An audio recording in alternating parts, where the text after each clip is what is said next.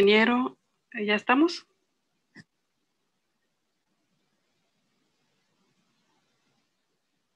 Sí, doctora. ¿Listo, doctor? Ok, ¿listo, doctor? Listo, doctora. Doctor Rolando. Listo, doctora. Bueno, pues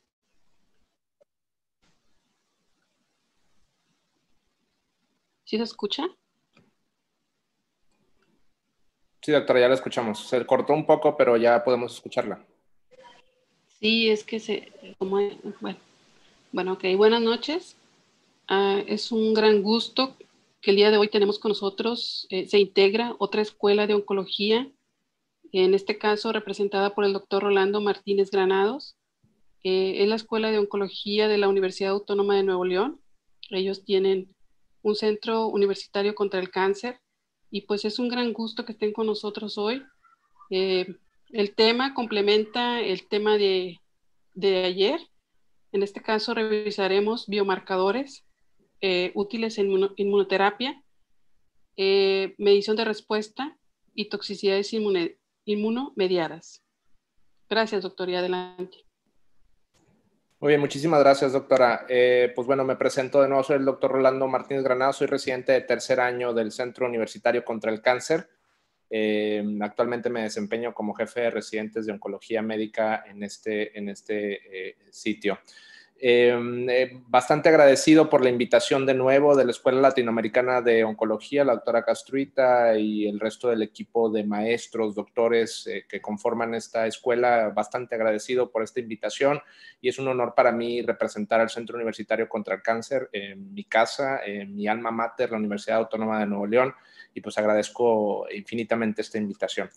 Eh, pues damos comienzo. Eh, a su vez también agradezco a mi jefe de servicio, el doctor Oscar Vidal Gutiérrez, al jefe de oncología médica, eh, el doctor David Hernández Barajas, y a mi jefe de enseñanza de posgrado de oncología, el doctor José Luis González Vela. Sin más preámbulos, comencemos con la sesión. la agenda se compone de los tópicos que ya mencionó la doctora. Vamos a dar una breve introducción esta breve introducción es mucho, gran parte lo tocó mi compañero el día de ayer. Eh, verdaderamente es más para ubicarnos en los siguientes tópicos, principalmente en la medición de los biomarcadores, y eh, será relativamente corta. Eh, ya lo tocó bastante bien el día de ayer mi compañero acerca de esta interacción que existe de la célula inmune con el tejido tumoral a través del complejo de histocompatibilidad que permite la activación del sistema inmune. Sabemos que esta situación es bastante compleja, no nada más es el, mecanismo del el complejo de histocompatibilidad tipo 1 o clase 1, sino también se involucran algunos otros tipos de células, citoquinas y otras situaciones del microambiente tumoral que muy bien explicó mi compañero el día de ayer. Eh, la inmunoedición, este concepto que también se definió bastante bien el día de ayer, eh, es ese mecanismo que utiliza la célula tumoral para poder evadir la vigilancia inmunológica. Y dentro de, este mecanismo de evasión de la vigilancia inmunológica, pues podemos encontrar eh, lo relacionado con los receptores de PD1, PDL1, los cuales muy bien se explicaron el día de ayer, pues eh, están relacionados con la inactivación de estas células inmunes que se encuentran dentro del microambiente tumoral y que tienen como finalidad pues atacar el tejido tumoral cuando se encuentran activadas. Em, comenzamos con el primer tópico de la noche del día de hoy, es importante presentar las bases, la definición de qué es un biomarcador. En particular, nos vamos a enfocar en biomarcadores predictivos de, respuesta, de tal manera que un biomarcador predictivo se define, se define como un biomarcador o una identificación de los individuos que en comparación de otros individuos con el mismo diagnóstico, las mismas características, que sin embargo no tienen ese biomarcador, de experimentar un efecto eh, favorable o desfavorable a la exposición de algún fármaco, en este caso la inmunoterapia. Y un biomarcador pronóstico, pues identifica la probabilidad de, eh, perdón, identifica la probabilidad de un evento clínico, como puede ser la sobrevida global, la sobrevida libre de, de, recurrencia. Eh, nos enfocaremos principalmente en los biomarcadores predictivos de respuesta.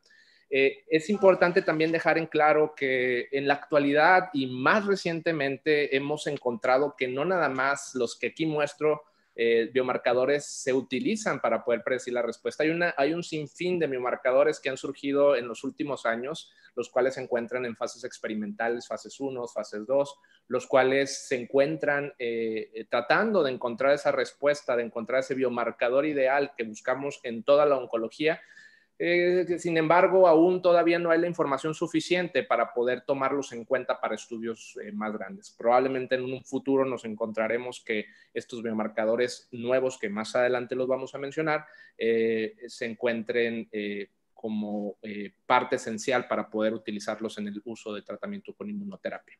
En particular, el día de hoy, para los fines de la plática, debido a que es un tema bastante extenso que incluye también la medición de respuesta y las toxicidades inmunomediadas, nos vamos a enfocar principalmente en estos cuatro biomarcadores, los cuales hay más información que sustenta su utilización.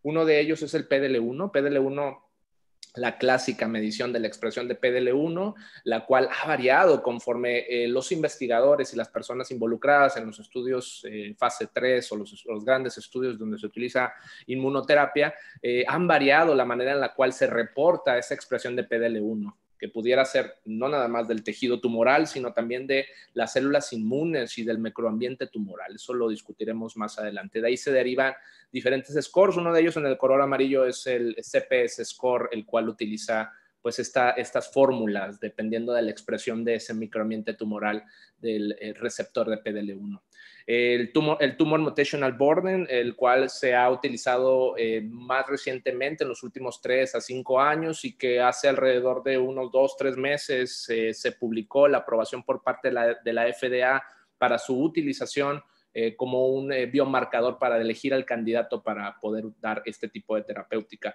Y también más recientemente el uso de las proteínas de inestabilidad microsatélite o la inestabilidad microsatélite asociada con la deficiencia de las, de las deficiencias de proteínas de de, la reparación del DNA ha surgido también como un biomarcador que nos puede predecir la respuesta, de tal manera que vamos a tocar principalmente estos cuatro biomarcadores.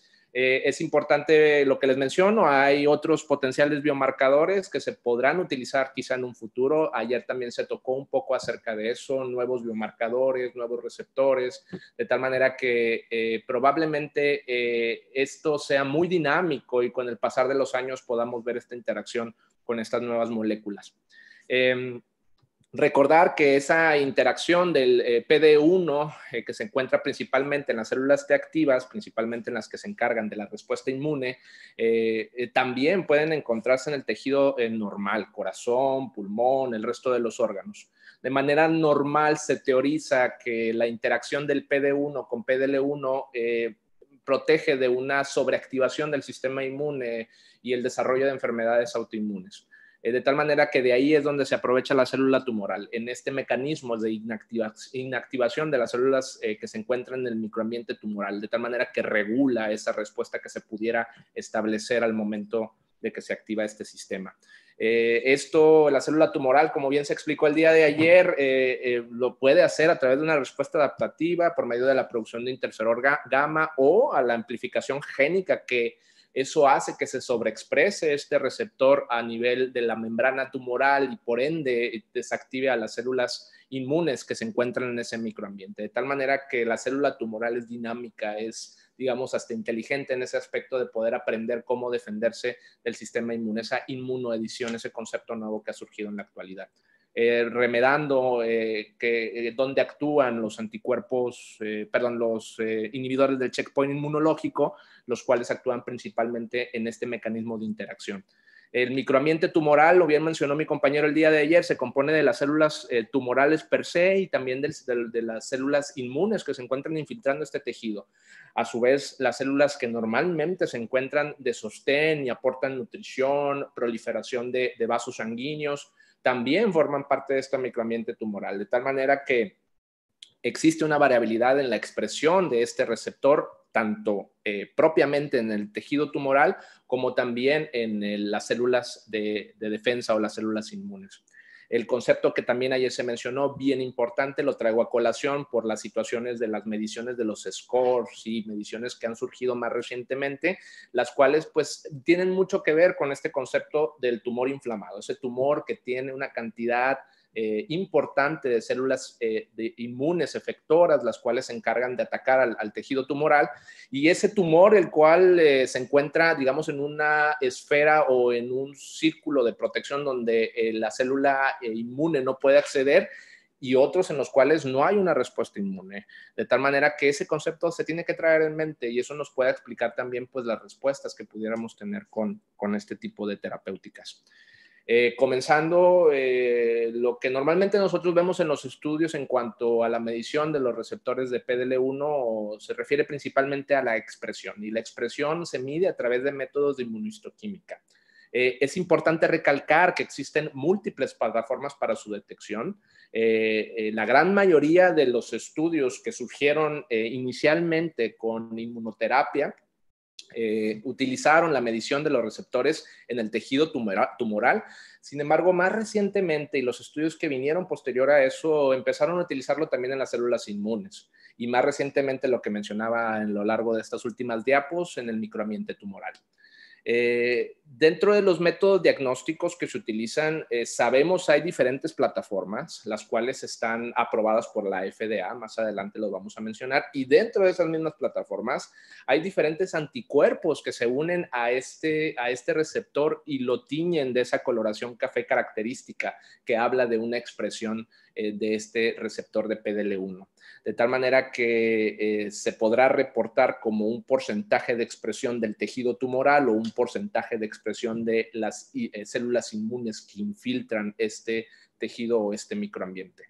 Eh, se teorizaba y una de las teorías por las cuales se medía el PDL1 era, bueno, si tengo más expresión de PDL1, si yo utilizo un anticuerpo que se dirige contra este tipo de receptor, pues yo voy a evitar que esa célula inmune se inactive. De tal manera que si yo tengo más cantidad de, de PDL1, yo voy a tener una inactivación. Em, hemos visto a lo largo de los últimos años, desde el advenimiento de la inmunoterapia, que sí, efectivamente los pacientes que tienen PDL1 positivo parece ser que tienen una mejor respuesta con el tratamiento con inmunoterapia, con inhibidores del checkpoint inmunológico. Sin embargo, nos damos cuenta también que en otros no, o algunos pacientes que tienen buena, eh, una cantidad eh, importante de expresión de receptores de PDL1 en base a los cortes que se definen por cada estudio y cada órgano y cáncer en particular, no responden de la manera que nosotros quisiéramos. De tal manera que hemos notado que hasta pacientes que no tienen una expresión de PDL1 también llegan a tener una respuesta con la utilización de estos fármacos, de tal manera que eso hizo que eh, actualmente este concepto de biomarcador sea algo dinámico, de tal manera que se han definido diversos cortes de expresión. Mucha o gran parte de la información que actualmente tenemos la tenemos principalmente de pulmón, donde hemos encontrado un beneficio bastante claro. Como bien podrán saber compañeros oncólogos y el resto de compañeros que nos, que nos acompañan en el día de hoy, eh, el corte mayor de 50 de expresión en el tejido tumoral de PDL1 nos ofrece una respuesta muy buena con monoterapia con con monoterapia con eh, pembrolizumab o con alguna otra opción de tratamiento, de tal manera que es ahí donde, donde surge esa, esa, esa idea de cuál será el cohorte ideal de la expresión.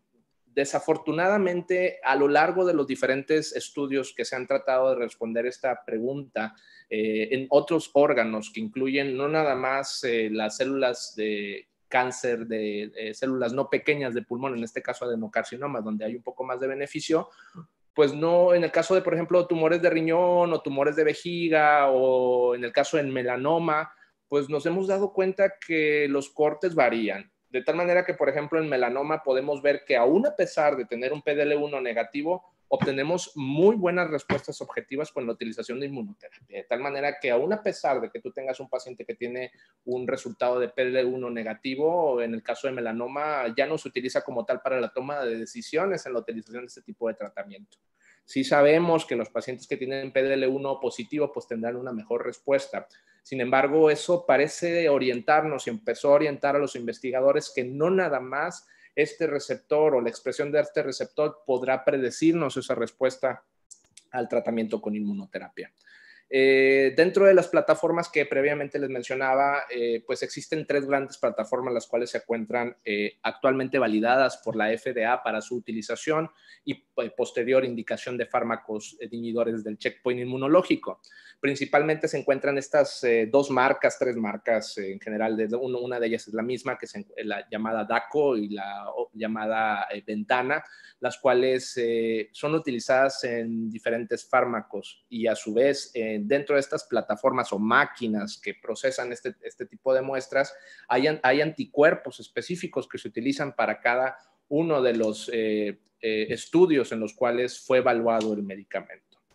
Eh, aquí podemos ver los diferentes anticuerpos utilizados en inmunohistoquímica, dentro de los que se encuentra el atezolizumab, durvalumab, pembrolizumab y nivolumab, eh, dándonos esta situación de, híjole, pues tenemos eh, eh, diferentes plataformas, tenemos muchos anticuerpos y a veces en la medicina institucional, pues es muy difícil poder tener todas esas máquinas, porque son máquinas muy costosas, tener también eh, los aditamentos necesarios para poder procesar las muestras, los procedimientos, la gente capacitada, etcétera, para poder procesar esta, este tipo de muestras con este tipo de, de anticuerpos. Surgió ahí la pregunta de, bueno, si hay una correlación entre plataforma, ¿qué quiere decir? Yo puedo utilizar una plataforma diferente a la que fue utilizada en tal estudio con un anticuerpo diferente al que fue utilizado en tal estudio y obtendré las mismas características de, expresión? Eso es una pregunta que más, reciente, más recientemente se ha hecho, de tal manera que hay eh, varios estudios dentro de los más llamativos o más relevantes, los cuales eh, son los más referenciados. Es uno de ellos es este, en el cual pues se comparó principalmente esta correlación interplataforma, en la cual podemos ver que eh, parece ser que las demás plataformas, incluida Nivo, la plataforma de nivolumab, la plataforma de pembrolizumab y la plataforma de durvalumab parece ser que correlacionan en la expresión, sin embargo la plataforma de atezolizumab no pareciera que correlaciona con, con los resultados en la expresión. Eh, este estudio, que es uno de los más famosos y de los cuales surgen algunas recomendaciones de algunas sociedades de oncología, es el estudio Blueprint, en el cual pues trataron de ver esta correlación eh, interplataforma y pareciera ser que, como lo mencioné en el estudio previo, eh, los anticuerpos 22C3, 288, SPS263, los cuales corresponden para los fármacos que ahí se encuentran, eh, correlacionan. De tal manera que parece ser que si se utiliza una plataforma diferente de, para el estudio cuestión para el cual fue pensado, parece ser que si es de estos fármacos, parece ser que se comportan de la misma manera en cuanto a la expresión. No así de nuevo con la plataforma que fue utilizada o el anticuerpo que fue utilizado para en el caso de atezolizumab. Sin embargo, estas guías o digamos este artículo que fue publicado en la Sociedad Internacional de Cáncer de Pulmón, eh, actualmente, como quiera, no recomienda categóricamente el intercambio de plataforma. De hecho, ellos mencionan que si se tiene acceso a la plataforma determinada para el tipo tumoral, pues se debe de utilizar esa plataforma. Sin embargo, eh, sí sabemos que en el contexto económico-social, el contexto actual de Latinoamérica, el contexto institucional, a veces es muy difícil tener todas las herramientas de los diferentes tipos de, de máquinas que se utilizan para procesar este tipo de muestras, de tal manera que en el contexto propio de cada país, pues es seguro utilizar una plataforma como la correlación que ya vimos previamente, por lo cual se pudiera utilizar sí y nos daría los resultados? Sí, parece ser que sí. Entonces, ahí queda esto a colación para poder eh, considerarlo. Eh, es importante también mencionar que existe una variabilidad importante en la expresión de PDL1, de tal manera que el PDL1, la expresión de PDL1 es temporal. ¿Qué quiere decir? No es durante todo el tiempo o vida de la célula tumoral y es también heterogéneo. ¿Qué quiere decir? Que dentro del mismo microambiente tumoral y per se, dentro del mismo eh, tumor, vamos a encontrar una variación de la expresión de receptores dependiendo del sitio donde se realiza la biopsia. De tal manera que pudiera ser que el sitio donde se realizó la biopsia tiene una expresión alta de PDL1 o viceversa, lo contrario, tiene una expresión baja de PDL1. O yo lo biopsio ahorita y resulta que hizo una nueva metástasis en otro sitio y yo hago esa biopsia en ese sitio y yo no encuentro las mismas características de expresión. De tal manera que eso hace que parece ser que el PDL1 tendrá a tener un comportamiento dinámico, es decir, variable y heterogéneo, eh, de tal manera que eso hace también un poco ese eh, contra de utilizar este receptor. Eh, en general, este es uno de los receptores o de los biomarcadores, perdón, con muchísima más información. Es uno de los primeros que se utilizó para poder iniciar este tipo de terapéuticas. Perdón. sin embargo, sabemos que hay diferentes ensayos de inmunistoquímica. Ya vimos esa correlación interplataforma, lo podemos utilizar en nuestro ambiente propio de Latinoamérica, en el contexto, lo podemos utilizar este receptor o este biomarcador es heterogéneo, es temporal, es importante considerar esta situación y que no nada más es el único para evaluar la respuesta de los tratamientos con inmunoterapia, debido a que hay una influencia del resto del microambiente tumoral. Es decir, hay otras cosas que están haciendo que pueda haber una respuesta o que no la haya, de tal manera que es importante considerar esta situación. Y a su vez no hay cohortes estandarizados para definir la positividad, es decir, ¿Cuánto porcentaje de PDL1 lo puedo generalizar con todos los tipos tumorales? No, va a depender de cada tumor y se tocará, eh, me imagino, en cada tópico especial de inmunoterapia en cada tumor. Y a su vez también, pues no sabemos si a lo mejor no es solamente el porcentaje de expresión, sino es también la intensidad de la atención. Es importante también mencionar, y algo que no, no traje a colación en las diapos pasadas, que el porcentaje de expresión también varía mucho por el interobservador, interobservador es decir, de patólogo a patólogo. Entonces, esta situación también nos pueda eh, dar esta, este, esta variabilidad en los resultados. Em, y a su vez, pues también, eh, aún a pesar de saber la expresión, también tienes que saber en dónde se está haciendo la, la, la medición en base al estudio donde tú quieres dar el tratamiento, porque no puede, ser en tejido tumoral o puede ser en, las, células que infiltran el tumor, CD8 en el caso, por ejemplo, de tumores eh, eh, de uro, tumores de vejiga, eh, que score, o mejor utilizar algún score o alguna combinación, de tal manera que será importante considerar esta situación. De tal manera que al momento esa variabilidad en los resultados entre los diferentes tumores y en algunos hace esta situación del marcador imperfecto.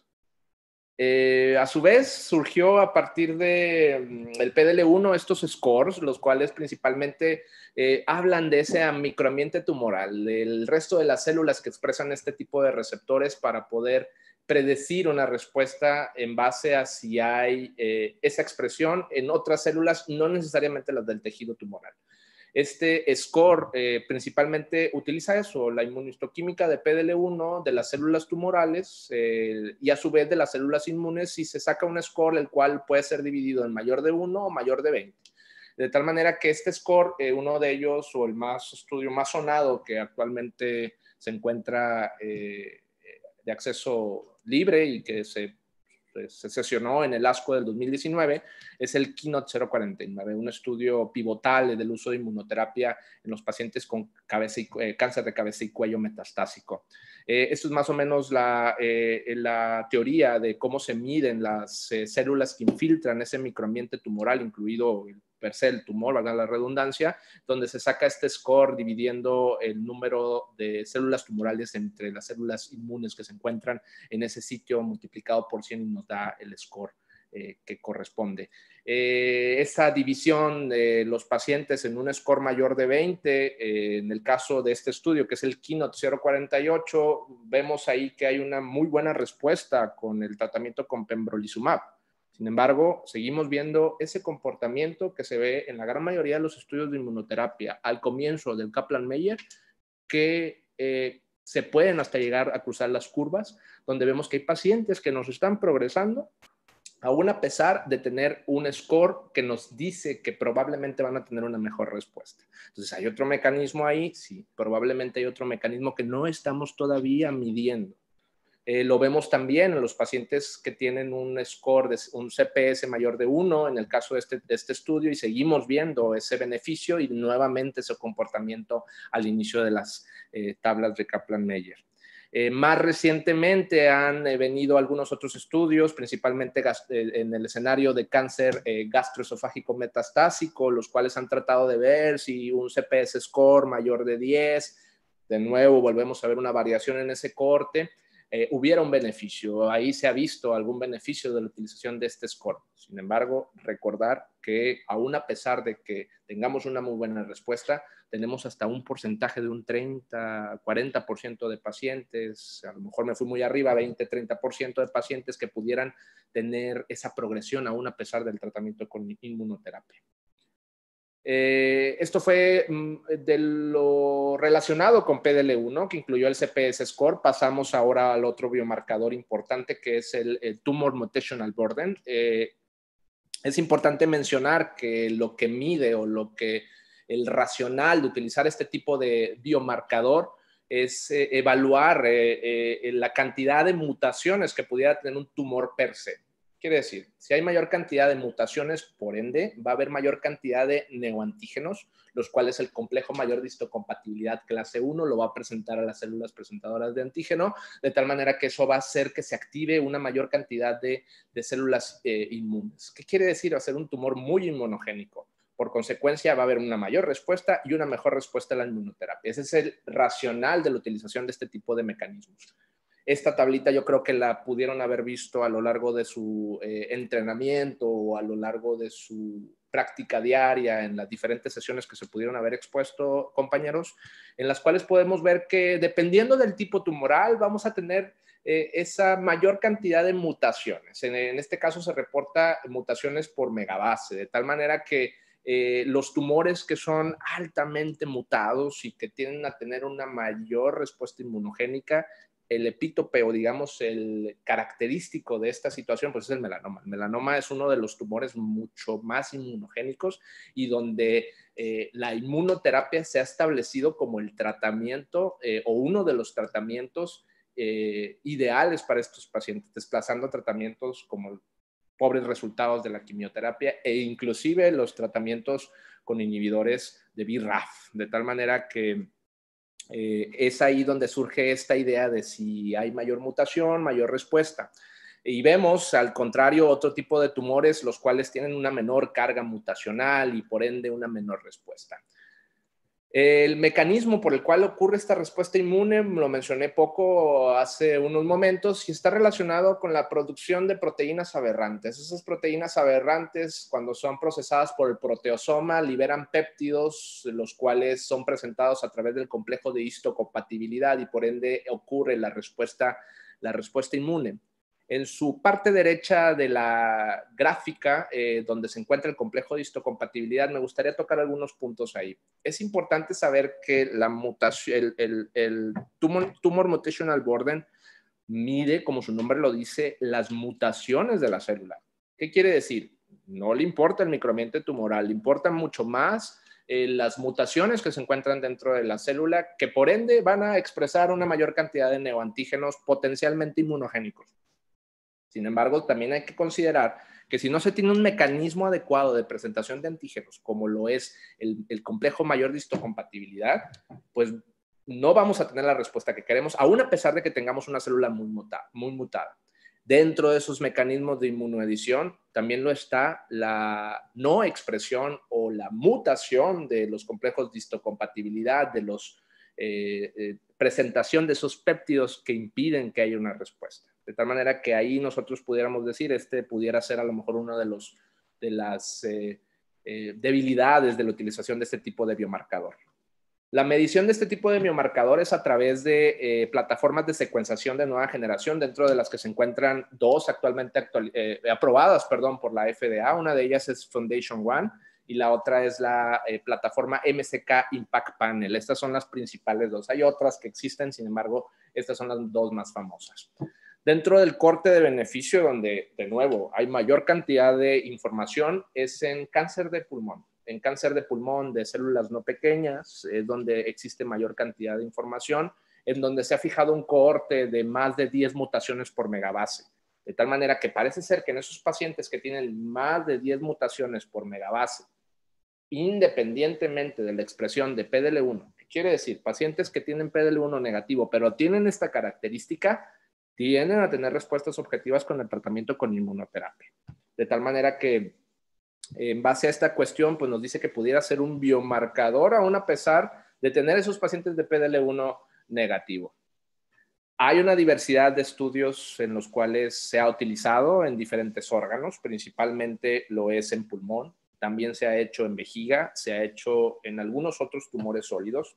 De hecho, en eh, esta última recomendación es de un estudio eh, de, la FDA donde incluyeron una diversidad de tumores sólidos y se les, eh, corrió este estudio de eh, Tumor Mutational Burden y los pacientes que tuvieran más de 10 copias por megabase, la FDA autorizó el uso de este tipo de tratamientos, no nada más en adultos, sino también en niños, lo cual fue recientemente publicado. Sin embargo, es conveniente considerar esas premisas. Estás midiendo propiamente solamente, solo el tumor y ya nos dimos cuenta que no nada más el medir el tumor es lo que tú debes de hacer. ¿Por qué? Porque es un microambiente, son muchas situaciones involucradas en la respuesta inmune, e incluido la utilización de este tipo de inhibidores de checkpoint. De tal manera que eso es una de las situaciones o los pros y contras de utilizar este tipo de biomarcador. Eh, a su vez, también es altamente dependiente de la plataforma. Eso es una situación que también se tiene que considerar y a veces es costoso poder utilizarlo debido a que el acceso pues, no es para todos en la medicina institucional o en la medicina eh, eh, como la que nosotros nos enfrentamos en, en Latinoamérica. A su vez, surgió otro biomarcador más recientemente utilizado en colon o en tumores gastrointestinales, pero principalmente en colon es donde hemos visto un beneficio mucho más grande. Este es el, eh, la inestabilidad microsatélite alta, eh, atrayendo a colación que es la inestabilidad microsatélite alta, principalmente está relacionada con la presencia de secuencias cortas de DNA, las cuales están repetidas a lo largo del genoma. Eh, la inestabilidad microsatélite se define como ese aumento en la longitud de los microsatélites en el DNA tumoral en comparación con el, DNA eh, normal correspondiente. Cuando hay mutaciones en esos genes que se encargan de producir proteínas que reparan el DNA, al no haberlos, obviamente no hay una reparación. Por ende, hay mayor cantidad de DNA eh, no reparado y pues una mayor producción de neoantígenos muy parecido al, concepto del Tumor Mutational Burden. Aquí podemos ver esta gráfica en la cual es parecido, se producen neoantígenos, el complejo de eh, histocompatibilidad presenta el neoantígeno a la célula, a la célula presentadora de antígeno que activa la respuesta inmune. De tal manera que ese es el racional de la utilización de este tipo de, mecanismos. La determinación de este tipo de biomarcador pues es un poquito más accesible. Eh, de tal manera que puede ser a través de inmunistoquímica, con la ausencia de proteínas de reparación, o ya sea detectando la deficiencia en los genes reparadores del sistema de mismatch repair. De tal manera que existen estas dos maneras en las cuales nosotros podemos detectar este tipo de, alteración. Eh, el famoso estudio Basket, eh, recordemos a colación, estudio Basket, estudio en el cual se incluyen una diversidad grande de tumores, las cuales tienen el mismo biomarcador, que en este caso fue eh, la inestabilidad microsatélite, el Keynote 016, en el cual ahí comenzó la evaluación de este tipo de, biomarcador y la utilización de tratamientos con inmunoterapia. En este caso fue pembrolizumab, el medicamento utilizado. Y hemos visto esa evolución a lo largo del tiempo. Gran parte de esa información viene derivada de aquí, de este estudio, en el cual podemos ver y se dieron cuenta que dependiendo no solo del tipo tumoral, sino también del estadio clínico, tendemos a tener una prevalencia eh, variable de la de inestabilidad microsatélite. Aquí podemos ver en el caso de endometrio, el caso de eh, cáncer gastro, gástrico eh, o en el caso ya donde hay un poco más de información de cáncer colorectal, que es donde parece ser que hay mayor cantidad de, de información y de la utilización de este biomarcador. Eh, en este, este biomarcador parece ser que puede predecir la respuesta. ¿Qué quiere decir? cuando tienes un paciente que tiene inestabilidad microsatélite alta, o deficiencia de las, proteínas, deficiencia de las proteínas de la reparación o de los genes que se encargan de producir estas proteínas, eh, obviamente eh, al haberlo mayor neoantígeno, mayor respuesta inmune y por ende mejor respuesta y lo vemos en estas gráficas en las cuales los pacientes que tenían estas características tendían a tener una regresión o una respuesta objetiva eh, con el uso de inmunoterapia. Este es uno de los estudios eh, más recientes publicados en el ASCO, en el escenario de cáncer de colon, que como vimos es uno de los tumores que tienen, eh, tienen a tener este biomarcador que se puede utilizar sobre todo en el escenario metastásico, en los cuales vemos que los pacientes tienen a tener una respuesta buena de hasta alrededor de una, una respuesta objetiva de casi alrededor del 50% con el uso de pembrolizumab. Eh, de nuevo nos enfrentamos a esos pacientes que tienden a tener esa progresión rápida en los primeros meses del tratamiento, que de nuevo nos dice algo nos está faltando para poder eh, determinar, determinarlo como un biomarcador ideal. Eh, los pros, pues es mucho más accesible, no necesitamos de una plataforma específica. hay más facilidad de que el patólogo de nuestras instituciones a lo largo de Latinoamérica pudiera mencionarnos la inmunohistoquímica y ver estas proteínas que cuando se encuentran ausentes obviamente nos dicen que hay este, esta alteración. Existe mayor experiencia en cáncer de colon. Ustedes podrán ver en las guías NSCN que hay recomendaciones de utilizar este tipo de tratamientos en escenarios metastásicos de otros tipos tumorales que se parece que vienen derivadas de este famoso estudio Basket Keynote 016 y que en algunas ocasiones ni el tumor eh, que viene en las guías que te recomiendan que utilices este medicamento fue incluido en este, en este básquet. De tal manera que la información aún es escasa, yo creo que va a ser muy dinámica a lo largo de, los siguientes años, pero donde parece ser donde esa sí ya se estableció más cosas en cáncer de colon. Veremos, yo creo, probablemente en los siguientes temas, en otros tipos de tumores, su utilización y hay una posibilidad de evaluar esa respuesta dinámica, de manera dinámica, pues sí, se puede. Existen algunos eh, estudios fase 1, fase 2, en los cuales se ha visto, oye, bueno, si yo doy el eh, inhibidor del checkpoint y yo te mido esto, eh, si tú lo encuentras elevado, me predice que voy a tener una mejor respuesta. O sabes que si lo encuentro más bajo, yo te tengo que dar mejor quimioterapia o otra maniobra terapéutica si existen esa, esa, esa, ese racional que se está tratando de investigar. Sin embargo, al momento es experimental. Al momento se han visto buenos resultados en estudios fase 1.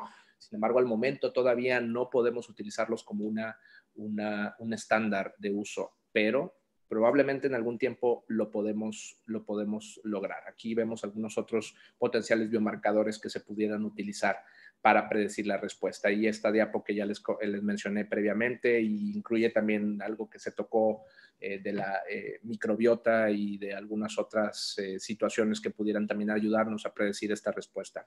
De tal manera que las conclusiones de este primer tópico, pues al momento, pues no hemos encontrado un biomarcador ideal, el cual pueda ser utilizado en toda la diversidad de tumores. Y es importante conocer que el biomarcador, qué, qué biomarcador fue utilizado en cada tipo tumoral y a futuro parece ser que la combinación de diversos biomarcadores, ya sea PDL1, interleucinas, interferón, eh, eh, el TMB, eh, esa conjunción de diversos marcadores, índices, pudiera ayudarnos a predecir esa respuesta con la inmunoterapia. Al momento es lo que tenemos, pero por eso es importante saber de qué tipo tumoral, cómo fue utilizado y cómo fue reportado para poder ofrecer el mejor beneficio a nuestros pacientes.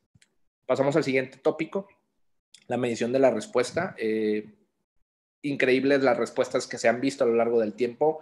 la primera utilización de los tratamientos con inmunoterapia, esas respuestas completas en pacientes que habían tenido múltiples líneas de tratamiento, pues vino a levantar ahí varias circunstancias de cómo medir correctamente esa respuesta con el uso de medicamentos inhibidores del checkpoint. Es importante traer a colación esta gráfica que también eh, mi compañero el día de ayer, perdón, el día de ayer mencionó bastante bien eh, acerca de esas respuestas que podemos tener tenemos esos pacientes que hiperprogresan. Es decir, esos pacientes, el 30% de los pacientes que en las curvas de Kaplan-Meier no responden al tratamiento con inmunoterapia. Esos pacientes son, no van a responder porque hay otro mecanismo. Algo está pasando adicional que no podemos controlar únicamente con un inhibidor del checkpoint. Hay algo más que tenemos que hacer. Y están también los pacientes que eh, pseudo progresan. Ese es un concepto muy nuevo o relativamente nuevo para, para la vida de la oncología eh, ese tipo de tumores que cuando uno utiliza el tratamiento con inmunoterapia, se llenan de células tumorales, ese de, perdón, de células inmunes. ese microambiente tumoral se infiltra con células eh, inmunes, inflama el tejido y eso hace que crezca de tamaño, de tal manera que nos da esa apariencia de haber progresado, pero no. Al final de cuentas, el paciente clínicamente muy bien, no tiene ningún síntoma, es más, te llegó con muchísimos síntomas, con un ECOG deteriorado y resulta que el tumor te progresa por imagen, pero clínicamente el paciente está muy bien. Entonces ahí es donde los investigadores, las personas que eh, eh, primeramente se enfrentaron a esta situación, pues se dieron cuenta que pudiera estar relacionado con esta cuestión de pseudo progresión. De tal manera que también es importante mencionar que pues tampoco es muy común esa pseudoprogresión. Ronda alrededor en algunos estudios de un 10%, de un 10 a un 15%, algunas series dicen 20%, de tal manera que tampoco es algo bastante común y se tiene que también sospechar en ese mecanismo de hiperprogresión que también sabemos puede ser presentado en nuestros pacientes con el inicio de este tipo de terapéutica. Eh, la medición de la respuesta han surgido diversos estudios, eh, diversas escalitas que se han tratado de utilizar basadas en la tradicional escala RESIST 1.1. Eh, se han adaptado para poder evaluar las respuestas inmunes, de tal manera que hay varios, está el inmunoresist y resist, está también el inmunoresist modificado, que es el IMRESIST, las cuales es una de las más recientes y fue publicada en 2018. Y ahí en estas escalitas de eh, inmuno eh, también se empieza a considerar por parte de la gente que elabora las guías la cuestión clínica. ¿Por qué? Porque nos empezamos a dar cuenta de esta situación, que progresaban, pero clínicamente el paciente estaba muy bien. Entonces, parece ser que el efecto era más el efecto de las células y la inflamación que se producía en el tumor asociado al uso de inhibidores de, del checkpoint inmunológico. Estas son las escalitas, eh, no nos vamos a, meter mucho de lleno porque la información es demasiada, pero principalmente lo que hay que diferenciar es eh, la progresión. La progresión, eh, eh, el RESIST, eh, habitualmente nosotros vemos un crecimiento que cumpla las características RESIST y ya nosotros decimos es progresión. De tal manera que lo que ha venido a modificarse con el tratamiento con inmunoterapia es eso. Espérate, ves una progresión, te cumple criterio de progresión, de enfermedad que está progresando, espérate, revalúalo en cuatro a ocho semanas, dependiendo del inmunoresist o el, el modificado inmunoresist, eh, y revalúalo y ve cómo está. Fíjate en el estado clínico, cómo está, está bien, está mal, y ya con eso tú tomas decisiones terapéuticas. Eso es lo que ha venido a cambiar, eh, que eh, este tipo de, de, mediciones se han tratado de rebuscar, hacerlo bidimensional, unidimensional las mediciones, sin embargo, ahorita, ahorita en la, ahora en la actualidad, perdón, ha sido principalmente con esa medición unidimensional y estas características. Eso es lo que principalmente ha venido a cambiar. Esta gráfica explica muy bien esta situación, en la cual podemos ver eh, que base a los criterios RESIST, eh, nosotros vemos esa progresión, esa línea azul que ustedes pueden ver en, la gráfica y según criterios RESIST, ahí nosotros estamos viendo una progresión de la enfermedad, por lo cual el tratamiento se suspende, de tal manera que le dejamos de otorgar ese beneficio al paciente de inmunoterapia. En cambio, en los criterios iResist, nosotros vemos esta situación de progresión, ese aumento que cumple los criterios para progresión, un, incremento de, más de 20% en las lesiones blanco, eh, de tal manera que a la reevaluación vemos que ya no cumple los criterios de progresión y al contrario, vemos una respuesta, enfermedad estable y hasta respuesta parcial y en ocasiones hasta respuesta completa de la lesión, de la lesión blanco. De tal manera que eso ha permitido poder seguirles ofreciendo el beneficio del tratamiento y no etiquetar inmediatamente al paciente como progresor. Eh, es importante y de nuevo eh, eh, basar la situación clínica y ver el comportamiento clínico del paciente porque es lo que nos va a ayudar a poder tomar la decisión si el paciente está teniendo una pseudo progresión o está teniendo una hiperprogresión, la cual esa, pues obviamente sí tendríamos que hacer algo diferente de continuar con la inmunoterapia de tal manera que esto ha venido a cambiar estas características. Este estudio publicado por Jodi, Jodi et al., el cual fue publicado alrededor del 2018, eh, que es uno del que tiene un poquito más de información acerca de ese valor que nos pudiera otorgar utilizar este tipo de medición de respuesta, en el cual ellos compararon principalmente el uso de atezolizumab en pulmón y en tejido era uroterial, vejiga, en los cuales eh, compararon el RESIST 1.1 versus resist que es el modificado, el que agrega ahí eh, unas modificaciones en cuanto a la medición, cuatro semanas después de haber visto una enfermedad que progresa. Eh, otra cosita que agregaron que no, no, no, les mencioné previamente es la aparición de nuevas lesiones. Las apariciones de nuevas lesiones generalmente en el RESIST 1.1 hablan de progresión, pero en el caso de del I'm resist o del I resist no hablan de progresión, sino se necesitan seguir en el tiempo, en este periodo de tiempo que les acabo de mencionar.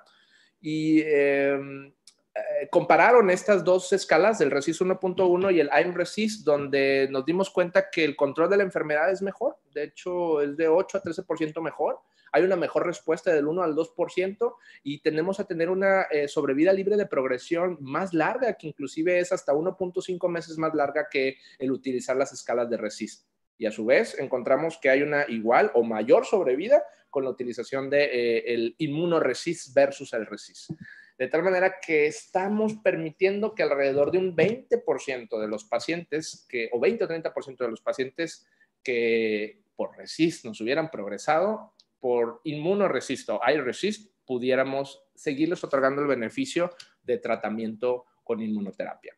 Eh, este es un algoritmo em, em, muy didáctico, el cual eh, principalmente habla de eso, de la situación clínica, en la cual la aparición de una lesión eh, se tiene que catalogar en base a si se encuentra efectivamente con progresión. ¿Qué quiere decir? Tú mides, te aparece una nueva lesión o tu, tu lesión blanco que tú habías determinado en el estudio basal de imagen te aumenta de tamaño cumpliendo los criterios de enfermedad progresiva, que es alrededor más del 20%, tienes que medir a las cuatro o seis semanas o cuatro o ocho semanas con un nuevo estudio de imagen.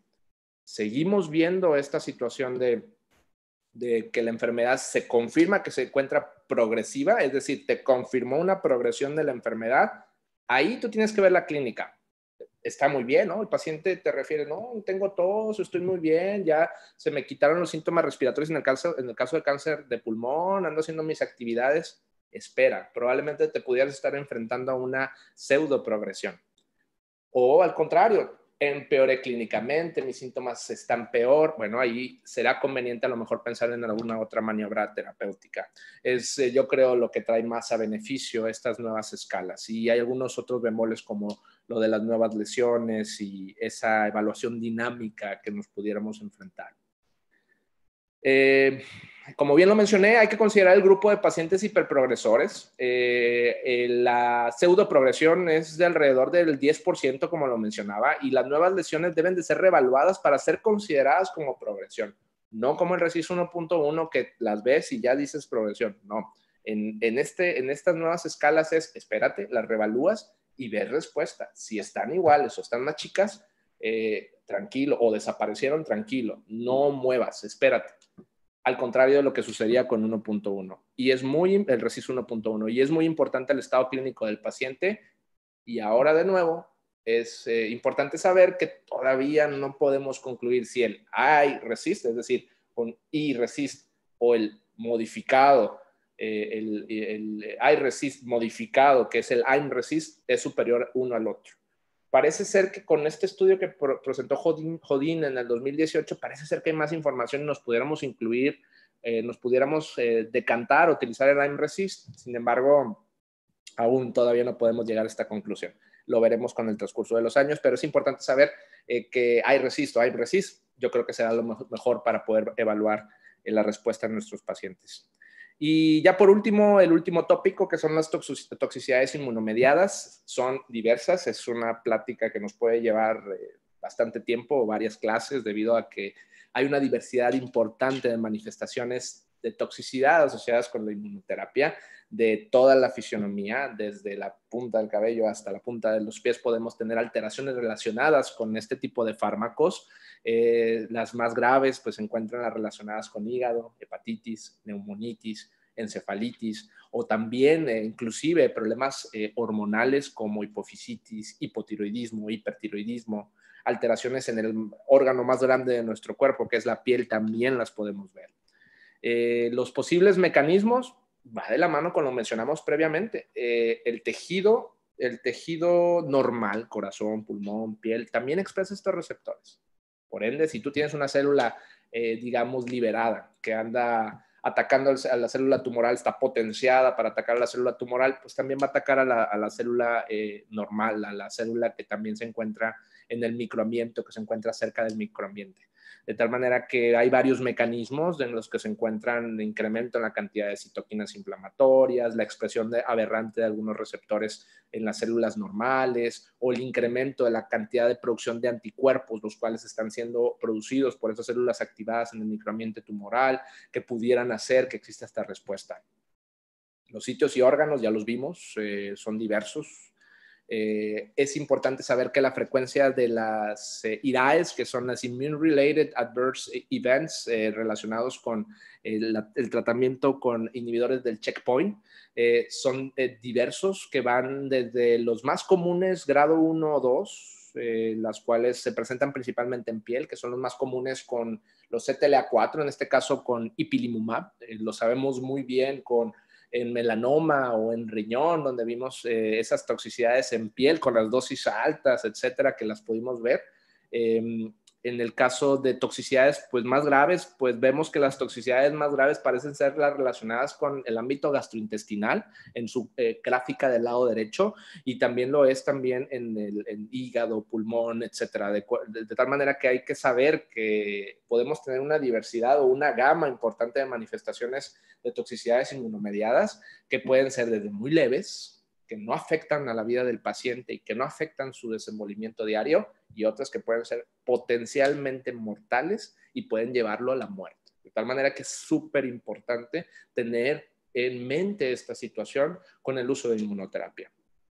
Vemos que la temporalidad de los eventos eh, relacionados con el uso de, inhibidores de checkpoint son diversos. De hecho, en promedio, la primera aparición de toxicidades es alrededor de las cuatro semanas. Sin embargo, pudiera ser hasta mucho tiempo después. No necesariamente eh, eh, ya no los tuvo en las primeras cuatro semanas y ya no las va a tener. Podemos ver ahí que hay manifestaciones gastrointestinales las cuales eh, pueden aparecer eh, de manera muy importante en las primeras cuatro a seis semanas eh, para después descender y ser muy poco probables después de cierto tiempo. En cambio, unas de las que sí se mantienen como una meseta y pueden presentarse a lo largo del tratamiento, pues son las endocrinopatías, de tal manera que vemos esa deficiencia perdón, esa ausencia de producción de hormona tiroidea en el caso de hipotiroidismo inducido por este tipo de fármacos. Es importante, yo creo que aquí recalcar eh, la temporalidad y que es muy variable y los grados también de presentación son variables. Ahora ha surgido esa pregunta, oye, si mi paciente eh, desarrolló un IRAE, quiere decir que va a tener un mejor desenlace oncológico. Eh, voy a tener un mejor desenlace porque tengo un sistema inmune que pues parece que atacó a la célula tumoral, pero también se llevó de encuentro a la fisionomía normal. ¿Quiere decir que tendrá una mejor respuesta?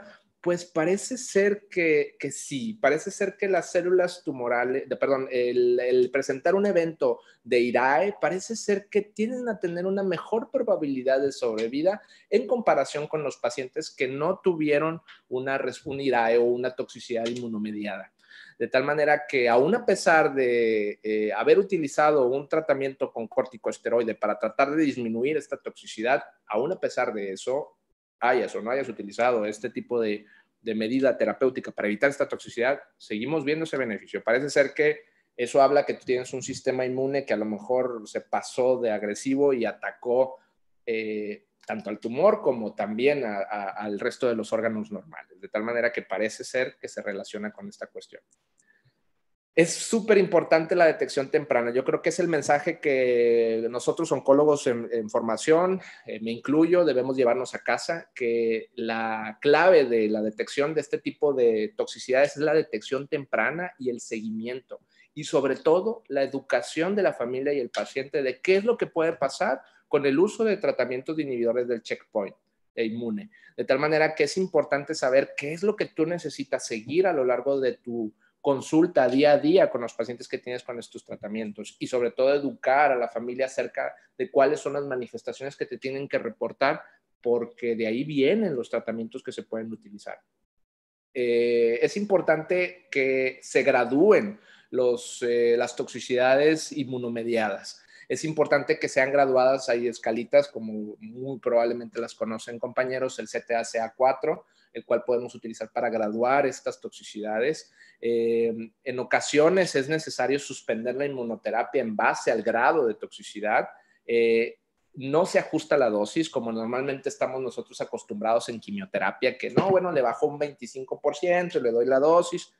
No, eh, de hecho, ahí no está relacionado, no es dosis dependiente, de tal manera que si hubiera una toxicidad potencialmente mortal o dependiendo de las guías que existen actualmente de manera internacional, ASCO, ESMO, que te dicen, dependiendo del órgano afectado, suspenderlo. a veces es suspender el tratamiento y ya no lo puedes reanudar porque la toxicidad fue muy fuerte.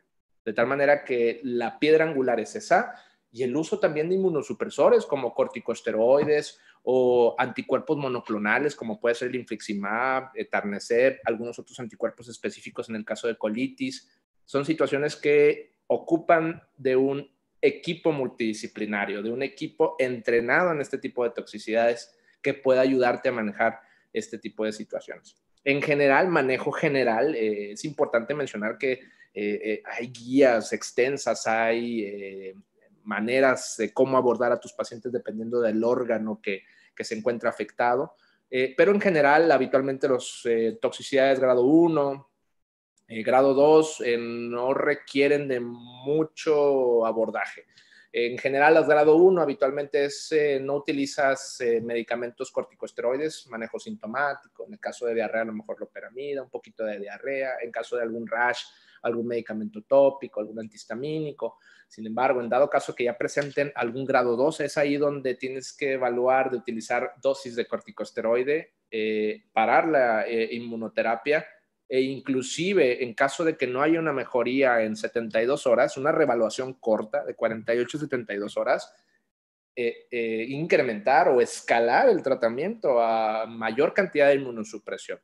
Eh, de tal manera que va a depender mucho y es clave fundamental el graduar tus toxicidades y detectarlas a tiempo para poder ofrecer un tratamiento temprano. Eso es lo que se debe de realizar. Eh, aquí podemos ver el manejo específico. Eh, a grosso modo es mucha información. me puedo llevar, yo creo, 20, 30 minutos explicándola. en general, corticosteroides, graduarla, clasificarla, detectarla y darle seguimiento en un corto tiempo para evitar mayores problemas. Lo vemos en el caso de de toxicidades en piel. Y una particularidad que sí me gustaría mencionar, que es en el caso de hipotiroidismo, el cual el tratamiento aquí no es con, con inmunosupresores, aquí el tratamiento es con reemplazo hormonal, de tal manera que esto es una de las toxicidades que, como vimos en las gráficas de presentación, pueden estar eh, a lo largo de todo el uso del tratamiento, de tal manera que eh, es importante saber que aquí en estos casos, dependiendo de la alteración que se ve, es el tratamiento que tú vas a ofrecer, que pudiera incluir la utilización de reemplazo hormonal con hormona tiroidea, con levotiroxina o algún otro eh, medicamento eh, para este reemplazo, que aquí sí varía contra el resto de las toxicidades en algunos otros sitios.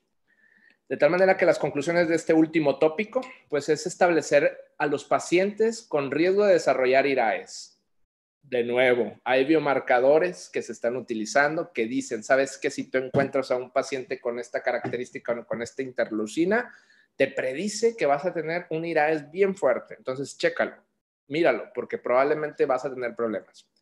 También se encuentra en fase experimental, pero es importante la clave me parece ser en base a lo que a la, literatura, a los eh, webinars que pude ver y al apoyo de mis maestros y lo que nos han ayudado a lo largo de mis tres años en oncología, lo que se transmite es detección oportuna y sobre todo educación del paciente y la familia. Parece ser que esas son las claves para poder tú tener un mejor desenlace y obviamente apoyarte de un equipo multidisciplinario. Eh, la graduación de toxicidades y el uso de corticosteroides de forma temprana son las claves para poder evitar que tú tengas un desenlace que no es el mejor para tu paciente. La suplementación de hormona tiroidea en caso de presentar alteraciones antes que el uso de corticosteroides es una premisa que debemos de tener en cuenta, que aquí el tratamiento de esa toxicidad pues, es reemplazar de hormona tiroidea y esa revaluación constante en un corto plazo de tiempo, de 48, 72 horas, para poder evaluar eh, eh, eh, una progresión o una escalación en el tratamiento inmunosupresor. Y esta es mi última diapo, pues bastante agradecido por el tiempo, por su amable tiempo haber escuchado esta sesión y no me queda más que de nuevo agradecer a mi alma mater, al Centro Universitario contra el Cáncer. Estoy muy orgulloso de estar en, en, esta, en este lugar de, de, enseñanza en oncología sabemos el potencial grande que tiene nuestra institución y estamos muy agradecidos con el apoyo que hemos tenido de nuestros maestros en la difusión de nuestro esfuerzo, de la atención de nuestros pacientes. Y pues no me queda también más que agradecer a la Escuela Latinoamericana de Oncología por el tiempo prestado. Muy amables, estoy eh, abierto a, respuestas, a preguntas, perdón. Eh, sí, muchas gracias, doctor Rolando. Este, es un gusto que su escuela de oncología se haya integrado en este proyecto de, aula virtual para residentes de oncología. Este, si alguien quiere comentar o precisar algo, con la confianza puede abrir su micrófono. Mm. Está el doctor González Vela preguntando cómo monitorizar un paciente con neumonitis por inmunoterapia. Sí, ahí habitualmente es eh, a través de estudios de imagen. De hecho, eh, esa progresión de la neumonitis habitualmente ocupa de la evaluación de un equipo multidisciplinario, incluido un neumólogo, eh, desde etapas tempranas, debido a que es una de las toxicidades que habitualmente tienden a tener los peores desenlaces, debido a que pues involucran no nada más la cuestión de saturación de oxígeno, sino también la cuestión cardiovascular. Me parece que ahí la clave es principalmente esa detección temprana de síntomas, como puede ser disnea o a lo mejor alguna disminución de esa capacidad física.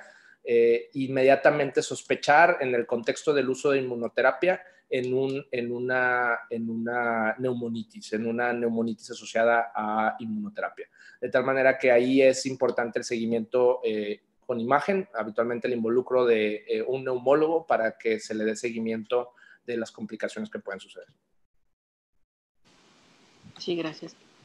Eh, bueno, hay algunas felicitaciones, doctor, por su presentación y eh, quizás voy a, a ver si el doctor Edio Llerena quiere comentar alguna cosa, que es uno de sus profesores.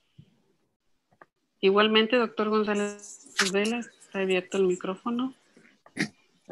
muy buenas noches. Este, gracias, Anita por, por, invitarnos a, a, esta gran labor que están haciendo ustedes en, pues con la Escuela Latinoamericana de Oncología y felicitar a, a, Rolando, nuestro residente de tercer año, por su excelente presentación.